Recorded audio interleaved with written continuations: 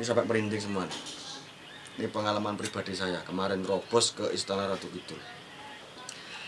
Saya masuk di situ melihat sebuah pagar itu manusia, Mas. Pagar manusia. Manusia. Pagernya itu terbuat dari Manusia hidup atau Manusia wis sudah mati lah. berdiri gitu tapi ya? Jadi dari pantat sini itu ditusuk besi sampai itu ber ratus ribu ribu manusia di situ. Saya, saya, saya sampai berpikir, waduh, ini saya baru lewat pagar. Jangan-jangan aku ditaruh situ. Lah makanya aku sampai berpikir buruk terus terang karena Jangan Dika jadi korban di sini. nah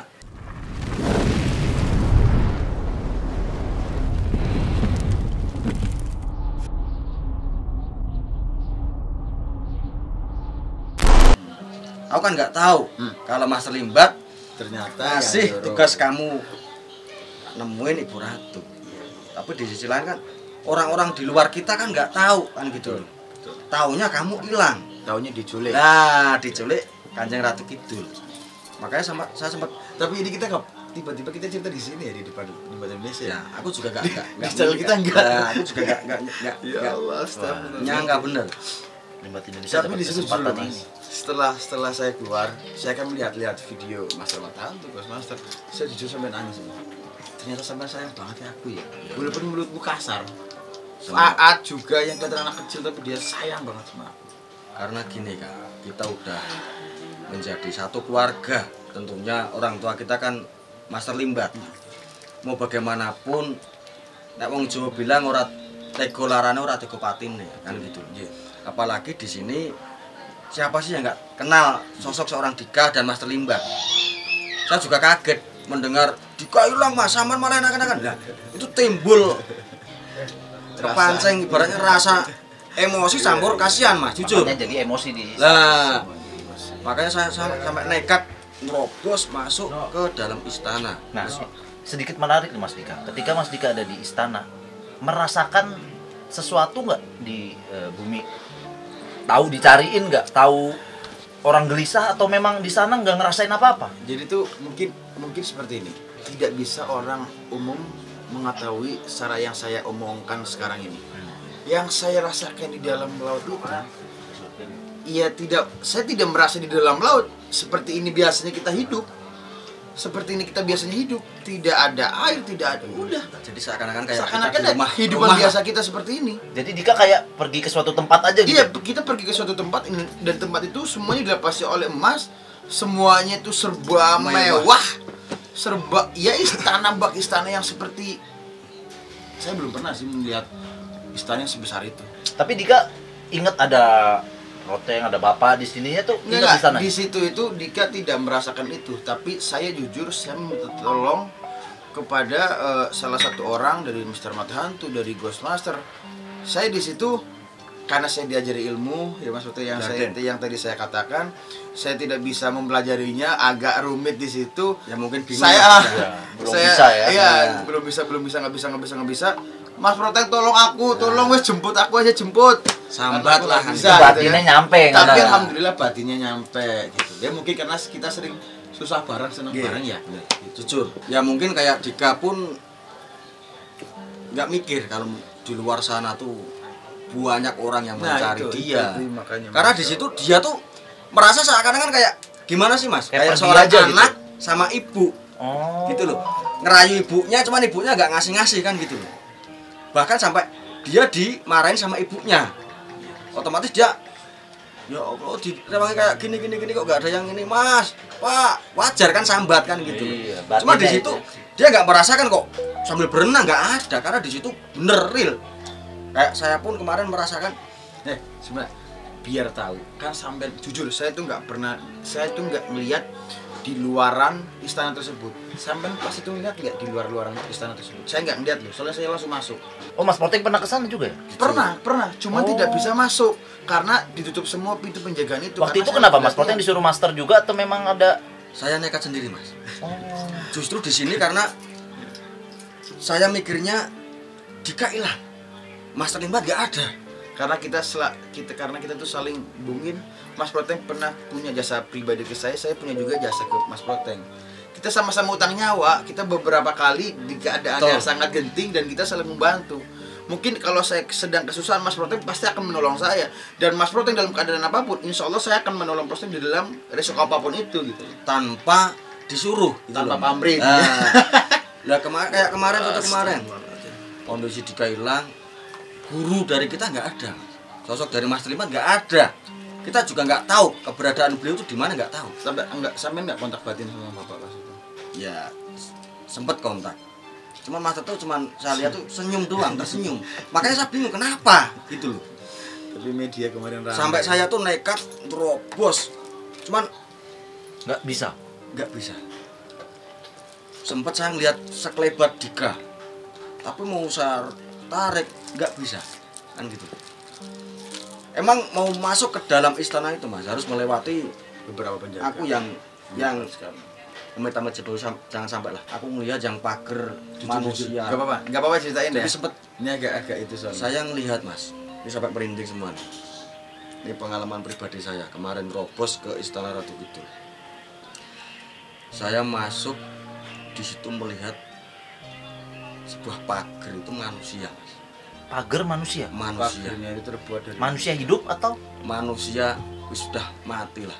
Berdiri gitu tapi ya? Jadi dari pantat sini itu ditusuk besi sampai itu ber ratus ribu ribu manusia di situ. Saya, saya, saya sampai berpikir waduh ini saya baru lewat pagar Jangan-jangan aku ditaruh situ. lah makanya aku sampai berpikir buruk terus terang karena jangan Dika jadi korban di sini nah karena ya Allah saya baru masuk. Baru melangkah selangkah aja udah melewati pagar melihat pagar. Ya Allah dengan manusia berbagai macam jenis pria wanita segala macam yang di situ menjerit-jerit minta tolong. Tapi saya nggak nggak gagas itulah karena jujur saya nggak tega. Kedua kalinya saya fokus mencari Dika. Saya cuma melihat sekilas itu sosok manusia di kayak Dika kapok nggak sebegitu dicariinnya sama keluarga sama teman-teman Kalau untuk saat ini mungkin saya kapok sekali ya dan nggak mau lagi lagi seperti itu. Karena itu ilmu aduh ilmu yang tidak aduh nggak nggak nggak mau lagi lah. Kalau mau protek mau silahkan. apa-apa. makanya kak besok lagi tuh kalau bapak nyuruh tuh kamu ditanya dulu bagaimana ini mau nyuruh ke mana gitu. Dan- iya. jangan asal berangkat Tapi memang sebelumnya itu sebelum aku berangkat itu aku nanya, Pak, ini ini, ini Ratu Kidul itu baik nggak sih? Karena yang saya mindset saya itu itu adalah ya siluman. ya Siluman yang jelek ini itu semua kan sering sering eh, meminta tumbal atau apa gitu kan sebetulnya kan tidak gitu. mungkin sih ya orang-orang yang nggak bertanggung jawab dan orang-orang yang nggak tahu mungkin menilai kalau kanjeng ratu kidul itu jahat Iya betul. Bahkan ada pesan dari Nyi Ratu Kidul, eh, Nyi, Nyi Ratu Kidul itu bahwasannya tolong Dika kalau kamu sudah keluar dari alam sini katakan kepada manusia tidak boleh zina di pinggir pantai. Buang sampah jangan buang sampah sembarangan di pantai. Inilah rumah kita pantai. Inilah rumah, rumah kita laut gitu. Ya, karena banyak banyak beristighfar ini semua masya Allah. Ya, pelajaran apa yang Dika ambil di sana? Pelajaran yang saya ambil itu hanya satu mas. Pasrah dan ikhlasan. Pasrah dan keikhlasan Karena memang di alam Mungkin alam sana itu tidak mengenal rasa dendam atau dengki ya Tapi kadang manusianya sendiri Yang Yang membuat- Yang membuat Makhluk-makhluk seperti itu yang marah. Ya contoh kita mungkin kita mas proteng cewek saya laki-laki. Kita belum muhrim kita pacaran di bibir pantai ini semua. Itu kan sesuatu hal yang di- dilarang oleh agama kita. Mungkin Betul. semua agama ya. Apalagi dengan sosok seperti itu dia pasti akan marah kepada kita ke ke ke manusianya sendiri buang sampah sembarangan ini. Ya mungkin coba aja kalau misalkan sahabat-sahabat lima di Indonesia rumahnya dibuangin sampah. Marah nggak lu kan begitu? Padahal nggak nggak nggak nggak salah ratu kidulnya ya nggak salahnya Rocky Iya. justru malah manusianya tersebut yang salah gitu. Saya Oh, jadi- ratu kidulnya nggak ngapa-ngapain kok. Iya. disalahin wah ini diculik ratu sampai kidul. ada fenomena agak melenceng sedikit fenomena yang berbaju hijau warna hijau itu itu sebenarnya benar atau mitos atau gimana? Itu kalau saya bilang itu mitos hanya mitos. Oh. Itu hanya beberapa orang yang percaya. Aslinya enggak aslinya tidak. Dan saya sebelum eh, hari itu atau sebelum sebelumnya saya sering ke perang kritis saya pakai baju hijau mobil saya hijau semuanya alhamdulillah tidak ada apa balik ke niatnya ya berarti baik ke niat balik lagi ke niat kita. Sebenarnya sih kembali lagi sih ya mas. Kembali ke manusianya tersebut. Betul karena gini mungkin ada orang yang belum mengalami sendiri dan cuman katanya. Katanya katanya katanya, Iya. Nah, makanya terus timbul sugesti nih. Emang yang namanya Ratu Kidul itu bisa dibilang pakainya serba hijau. Hmm, cuman itu mungkin. lah cuman enggak kok terus melihat orang yang berpakaian hijau diculik nggak ada sejarahnya mas. Tidak ada sejarahnya tapi saya percaya bahwasanya kalau misalkan ibu ratu itu kalau kita bersama baik dengan dia lebih iya baik enggak iya lebih baik dan sangat cantik. Sayang banget bener. Iya, tapi kalau kita berprasangka berprisa apa apa? Prasangka. Berprasangka. berprasangka buruk se- pertama saya kali pertama kali saya masuk ke istana tersebut kan saya kan buruk pasti kan. Itu ibu ratu itu mukanya jelek banget. Nenek peot tua ini semua ya ya tapi jujur kan emang yang saya rasain kayak gitu kemarin. Aku baru ngelewatin pagar yang tadi manusia tadi. Aku pikir aku jahat. Iya ya karena pikiranmu kan taunya dikai mati dikai Iya, mati dikai hilang karena- kan. wah dikasih culik Terus, pokoknya timbul di hati aku pengen ngacak-ngacak laut kidul atau istana ratu kidul kan gitu loh. Tapi ya itu tadi. Niat saya udah kayak apa bagaimana lah. Membara lah Wis. wis. nggak mikirin wis. Tapi aku pengen terobos kayak ada sesuatu yang magrin gitu loh kan? Betul lah, pasti pasti. Ah. alhasil aku balik lagi ke daratan gitu. Padahal di situ dan aku nggak ngapa-ngapain. Oh. dan di situ aku lihat videonya di Master Mata tuh Mm-mm. semua panik. Lah iya. Taunya sampai diculik diculik gitu loh. Melihat melihat bagaimana sikapnya Iya. eh, Kanjeng sama Dika sama Mas Proteng. Ada kemungkinan nggak sih beliau menginginkan Mas Proteng atau Mas Dika mengunjungi istananya lagi? Atau atau atau Itu. ya namanya dengan dengan cerita ini kan eh, udah ada ikatan udah Iya. ketemu. Memungkinkan nggak sih hal seperti itu? Itu pasti itu pasti. Nah, soalnya gimana Mas sebelum saya keluar silahkan jika jika kamu punya saudara yang baik silahkan. Kalau mau mampir ke sini silahkan. Karena inilah tempat tinggalmu juga. Karena beliau itu orang yang sangat baik yang sangat sangat mengayomi kita. Jadi tuh wah gila kalau gua nggak punya keluarga aja gua mau tinggal di situ karena di situ dosa tuh agak sedikit karena di situ yang diajarkan tentang cuma keikhlasan pasrahan dunia udah berarti ada yang ada yang mitos nggak balik lagi tuh berarti dia hidup di sana gitu ya Proteng atau nah gimana? itu tergantung beda niatnya, itu Mas. beda oh nah kadang kan orang itu kan berpikiran saya ke mau oh, ke pantai selatan saya mau ketemu Nyi Doro Kidul pesugihan Kaya. pelet, kaya Hmm. ini pengasihan itu memang diculik Nyi Doro Kidul buat itu tadi pagernya karena niatnya sudah buruk. Gitu. Tapi kalau sebenarnya niat- tergantung manusia tergantung manusianya. Kalau saya bilang tergantung manusianya.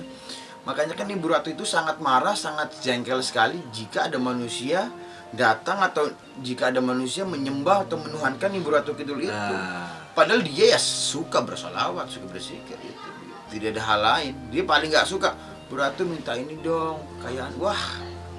Kalau mungkin kalau saya kalau saya nakal bisa aja saya bawa emas saya bisa aja bawa ber- beberapa batang. Emas mungkin mas Proteng tahu itulah istana terus eh, seperti apa. Buat apa? Itu buat apa? Kan gitu mungkin ya itulah pilihan-pilihan orang-orang pilihan dari ibu ratu gitu. Karena kebanyakan orang-orang yang ke situ mas. Mohon maaf. Mungkin dia udah stres frustasi udah nggak punya niat. ya. iya makanya terus sampai timbul ke situ pengen nyari pesugihan pengen nyari kekayaan kan gitu. Ya emang kalau udah ke situ mau minta emas berapa ton berapa dikasih Dikasih. cuman ya itu tadi itu jebakan lah jebakan. Kan gitu. Kalau niatnya baik kayak Dika ibaratnya kemarin saya nggak tahu niat Dika diutus sama Mas Limba masuk ketemu Ibu Ratu. Nah di dalam Dika ketemu Ibu Ratu tuh dalam misi apa nih? Mau suruh berguru atau suruh Hmm. ngapain kan? Saya nggak tahu. Ya iya. Taunya Atau cuma hilang aja gitu Nah, ya. taunya di luar kan geger Dika diculik. Kan gitu loh. Tapi hasil setelah Dika keluar Dika ketemu malah mendapatkan sebuah pusaka. Dan Dika juga baik-baik saja. Iya alhamdulillah. Alhamdulillahnya juga sehabis keluar dari laut Kidul itu bisa dibilang Dika tuh berubah 190% lah. Tambah ganteng ya ganteng sih orang kan cara bahasamu tuh Mas. Dika udah ketemu sama bapak berarti udah alhamdulillah pas itu alhamdulillah pas itu waktu saya keluar saya disambut oleh tim saya tim master Mata- eh tim Ghostmaster sorry ya. Tim Ghostmaster dan bersama Ustadz Ujang Bustomi dan bersama bapak saya Master Limbat bawa saya di situ. Saya ditarik karena itu memang sudah saya sudah pantas untuk keluar dari dari dari istana tersebut. Dan dari situ ibu ratu mengasihkan saya apa itu namanya tuh kayak pusaka. Terus saya ya, wejangan-wejangan yang positif saya- lah buat intinya saya dipegang pusaka untuk bisa membantu orang banyak di dunia ini bisa menyembuhkan bisa ya menyembuhkan orang santet telu semuanya tapi ingat itu tidak boleh dituhankan itu tidak boleh untuk didewakan. Itu Tuh. hanya perantara semua karena Allah Taala. Tidak ada hal lain. Beliau pun mengingatkan itu ya. kan? beliau pun mengingatkan itu. Kita kadang sebagai manusia sendiri yang kita salah Malah menuhankan hal-hal yang Betul, salah. betul. Kadang manusia sendiri mas yang lupa. Mentang-mentang kita udah punya ini terus wah ini gara-gara ini. Lupa dengan Allah. Makanya ini dengan pelajaran karena Dika hilang kemarin ini pelajaran paling Sangat, berharga. sangat berharga. dan ini justru saya masih penasaran sama Lingbat kak. Makanya ini kok cuman kamu yang di, yang ditunjuk ke sono gitu. Nggak- Mungkin secara nggak langsung Oh, Bapak enggak. ini mau Oh, oh, ngajarin ke Dika sebentar, buat sebentar. Oh Mas Protein minta juga ke sana bukan. Nah terus apa maksudnya? Maksudnya kok nggak aku sama kamu? Kok harus Oh. kamu sendiri gitu loh. Kenapa nggak saya juga? Nah, gitu loh. Ya wes yang penting alhamdulillah mungkin penonton dari Limbat Indonesia penasaran kemarin sempet terdengar berita putra dari Master Limbat hilang diculik nyerah hilang nggak hilang. Gegernya tuh kayak gitu ya udah tapi alhamdulillah dan alhasil sebenarnya asline di kaki orang diculik gitu cuma ditugaskan khusus oleh Master Limbat untuk bertemu Kanjeng Ratu Kidul. Lah pertemuan itu mau ngapain gitu aku juga belum tahu karena ya udah tahu kan udah diceritain. Iya. Awalnya. aku cek penasaran karena Mbak Limbat ini guys ya. yang penting tetap stay terus. enggak coba nanti habis ini kita cari papa Ya. Wes, Coba baru kita tanya Tapi Mas Dika mungkin terakhir eh, secara nggak langsung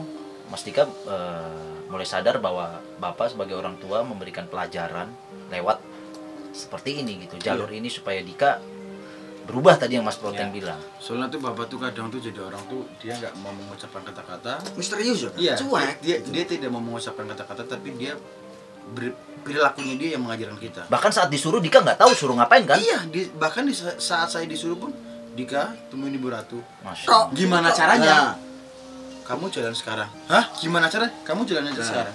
Ibaratnya kayak ini mohon maaf. Teng beli ini belinya apa Lah, belinya tuh apa, Pak? Naik apa? Jadi kita disuruh mencari sendiri artinya maknanya Lah, semuanya ya. itulah Masya Allah. Master Limbat. makanya nggak mau ngomong Nah, kalau ngomong bahaya. Ya sebenarnya Mas Proteng sama Mas Dika ada yang mau disampaikan sama pada intinya Bapak yang saya sama teman-teman. bapak saya atau semua sahabat-sahabat di Indonesia jangan pernah percaya dengan hal-hal seperti itu ada hal seperti itu memang ada di dunia ini tidak ada memang dan kita harus meyakini kan. dan harus meyakini itu tapi jangan pernah dituhankan atau didewakan bahkan mungkin mereka juga yang menciptakan Allah sendiri Betul. tidak ada Tuhan selain Allah Dan yang jelas jangan pernah mencoba tanpa didampingi orang-orang tertentu. Eh, contohnya kota ini Ya, contohnya kayak Dika kemarin lah, karena nggak didampingi Master Limbat. Nah, yang penting tetap terus di channel kesayangan. Terima kasih Mas Anda. Proteng, Mas Dika ceritanya. Indonesia, nggih. Jangan lupa di share and subscribe. udah nggak usah di subscribe juga nggak apa-apa udah banyak Mending awake dhewe ya. Oke. Oke. Salam dan doa untuk kalian semua. Assalamualaikum warahmatullahi wabarakatuh. Terus Badun, selamat malam.